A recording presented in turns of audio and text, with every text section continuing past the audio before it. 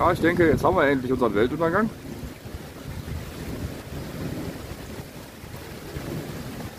Auf den wir den ganzen Tag gewartet haben.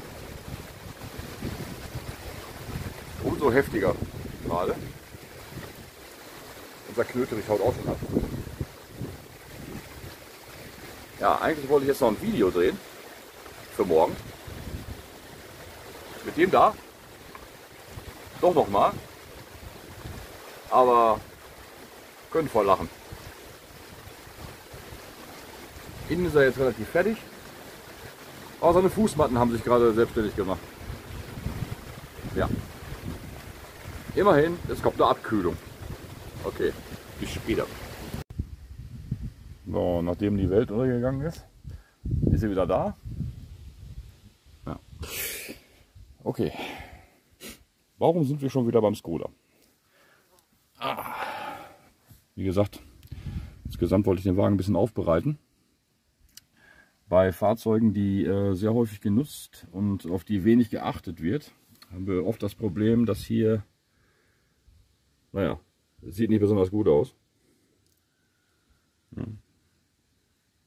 Ich werde das jetzt mal mit meiner Politur einmal durchschrubben, wie man so schön sagt, bevor der Wagen nochmal in die Waschanlage geht. Da war er nämlich noch nicht. Einmal so richtig in die Waschanlage. Ja. ja. Bevor er da reingeht, erstmal die Einstiege machen und so weiter und so weiter. Ist noch einiges, was mir aufgefallen ist. Ich habe eigentlich gesagt, das ist das finale Video das letzte Mal, aber irgendwas ist ja immer. Soweit ist alles trocken mittlerweile. Steht ja immer schön in der Sonne, das geht. Ja, da sauge ich jetzt noch einmal durch, dann kommt die Fußmatte da rein. Ja, wird. Ne? Okay, ich poliere mal. Ist jetzt nicht wirklich aufregend. Bis gleich. Ja, jetzt sind wir noch mal ganz kurz vorne. Ich will den Behälter austauschen. Ja, er wird letztendlich nicht wirklich sauber. Der ist ja unterteilt in mehrere äh, Etagen und Stufen. Hier unten. Ja. Da drin sieht man es auch. Das ist nicht einfach eine Dose. Ne? Jetzt habe ich gesehen, irgendein Scherzkeks, wahrscheinlich der Vorvorbesitzer, hat den Schalter hier gebrückt. Hinterlistiger kleiner Sack, ne? Der wusste also, dass das Auto kaputt ist. Ja. Das nehmen wir mal raus. Das gehört da nicht rein. Ein kleiner Penner. Ja, auch eine Empfehlung. Bei solchen Sachen genau hingucken. Das Ding hier ist der Wasserstandssensor, also Kühlmittelstandssensor. Ich habe mich gewundert, weil ich, ich, ich habe das äh, Kühlmittel schon einmal abgelassen und äh, das Ding ging nicht an. Was er eigentlich müsste. Ist ja jetzt kein Wasser da drin. Ich habe das jetzt komplett abgepumpt kam schon wieder eine ziemliche Plörre raus. Ist das zweite Mal spülen. So, mal gucken, ob er jetzt angeht. Müsste eigentlich piepen, ne? Hatten wir schon mal.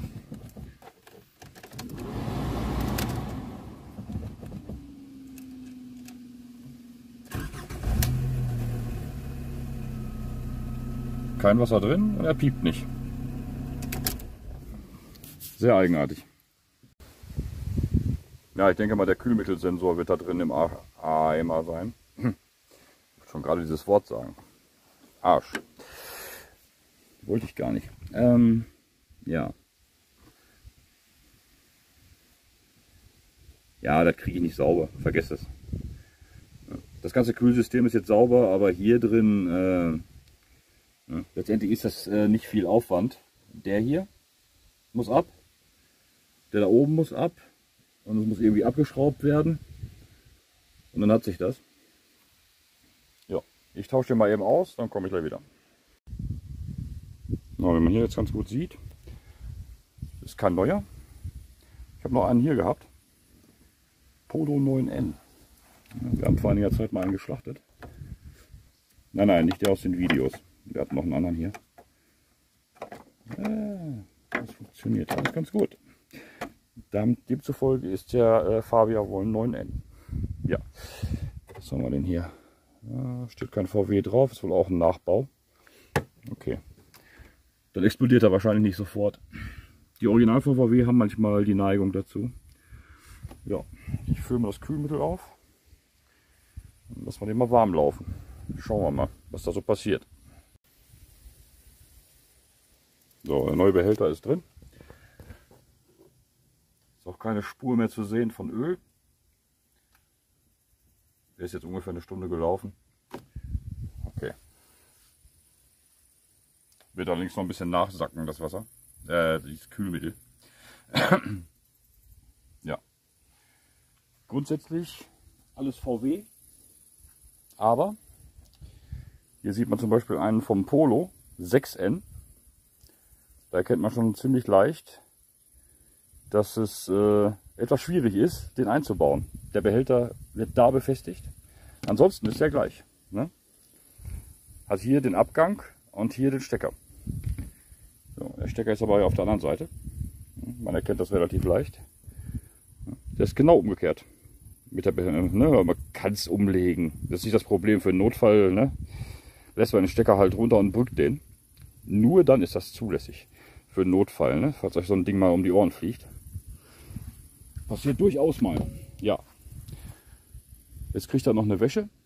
Ich habe die ganzen Kratzer weggemacht, die es hier noch gab. Ja. Sieht es natürlich, äh, sieht kein Mensch, weil äh, das Auto wieder nass, dreckig und weiß der Teufel was geworden ist, weil hier so ein bisschen die Welt untergegangen ist. Ja, aber ich denke, er kann sich jetzt wieder sehen lassen. Ja. Ja, ist eine andere Hausnummer. Ja. Geht aber trotzdem noch einmal durch die Waschanlage. Damit die ganzen, der ganze Staub und äh, der ganze andere Kram da runterkommt. Wie gesagt, die ganzen Kratzer habe ich rausgemacht, die so im Alltag passieren. Ja, die Einstiege hatten wir gerade. Das, was ging, habe ich rausgemacht. Der Boden sieht gut aus. Alles sauber gemacht. Ja, finde ich schon mal gut. So, dann ab zur Tankstelle. Oh, wir sind wieder im Dorf, auf dem Weg zur Tankstelle. Wir sind im fünften Gang. Ich finde das beeindruckend für so einen kleinen Motor. Das war früher mal ein Verkaufsargument für solche Autos, also für größere. Der brummelt nicht, der ruckelt nicht, der zieht so durch. Von 50. Ja, ganz geschmeidig. Finde ich sehr beeindruckt. Ja, wie gesagt, die alten Motoren sind da etwas elastischer. Ansonsten ja, sieht recht fertig aus. Der Wagen geht jetzt auch gleich bei eBay rein. Beziehungsweise ich werde die Anzeige starten, wenn das Video hier startet. Äh, die Versteigerung. Ja. Ergo, der Link ist in der Beschreibung. Oh, bei der Gelegenheit gibt es noch eine kleine virtuelle Probefahrt.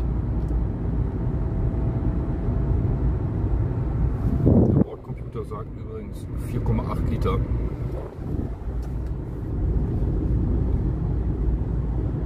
Finde ich gut.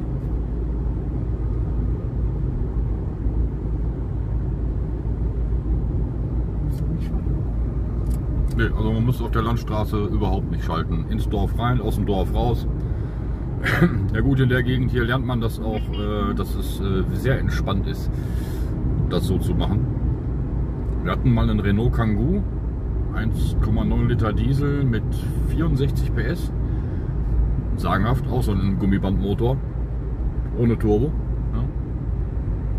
Und der hier, jetzt kommt das Dorf, ganz langsam runtergehen von der Geschwindigkeit. So ja, diese alten Motoren, diese alte Bauweise ist vom Drehmoment wesentlich effektiver als ein 1 Liter Zweizylinder Biturbo da kann natürlich nichts kommen ne? an Entspannung. Dafür hat man dann neun Gänge.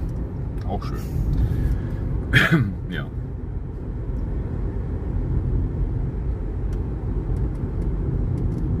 Ist wie gesagt eine kleine Probefahrt. Aber jetzt seht ihr ein bisschen was von der Gegend. Das ist doch auch schön, oder? Gegend haben wir nämlich genug hier. jetzt geht es bergauf, wir sind immer noch im fünften. Der brummt nicht, der ruckelt nicht, der zieht so durch. Kein Scherz, der ist immer noch im fünften. Ja? Da. 50. Ja? Das interessiert den gar nicht. Sagenhaft entspanntes Auto. Der entspannt auch, man merkt's.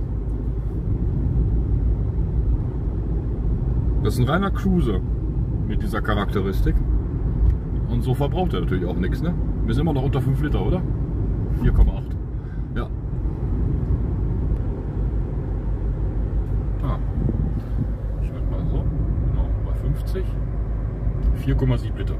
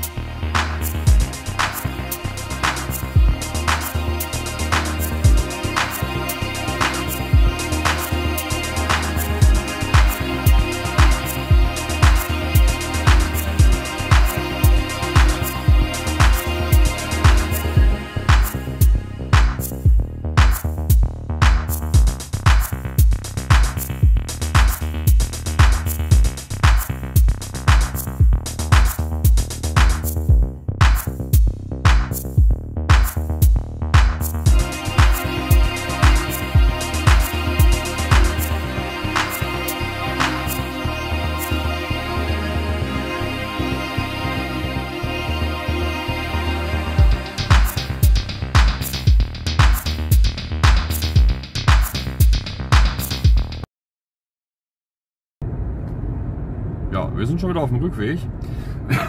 Und äh, ich glaube, vor 20 Kilometern hat meine Frau das letzte Mal geschaltet. Kein Witz. Ich habe mal gerade den Fahrzeugschein geguckt. Ähm, 60 PS bei, äh, also 44 kW bei 4400 Umdrehungen. Bedeutet, äh, eigentlich ist das ein Diesel, der Zündkerzen hat. Also, ne? Ist jetzt ein Spaß. Das ist von der Leistungscharakteristik ist das wie ein Diesel. Ne? Das schlägt sich dann auch im Verbrauch nieder. Den haben wir nicht zurückgestellt. Ne? 4,7 Liter, nur auf Landstraße. Ne? Auf unseren Landstraßen hier. Und gerade oben, äh, wo wir äh, gewaschen haben, losgefahren, auf die Landstraße drauf, fünfter Gang und das war's. Seitdem hat meine Frau nicht mehr geschaltet. Seitdem ist er im fünften Gang. Das ist eine Miezekatze. Das macht die hier regelmäßig. Die hat sogar noch gemeckert, ich glaube es ja wohl nicht.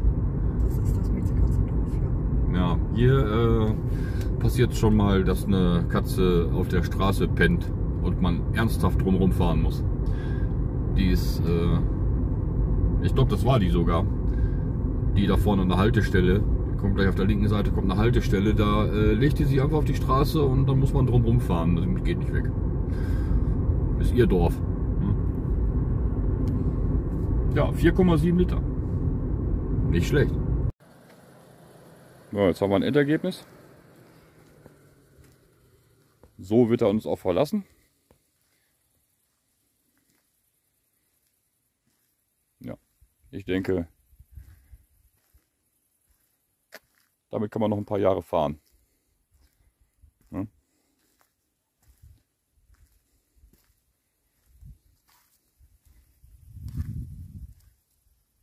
Natürlich ist das kein Neuwagen. Ne?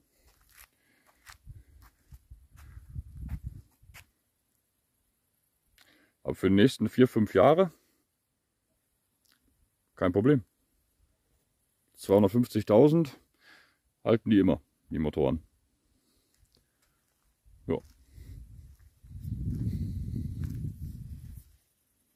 Tja.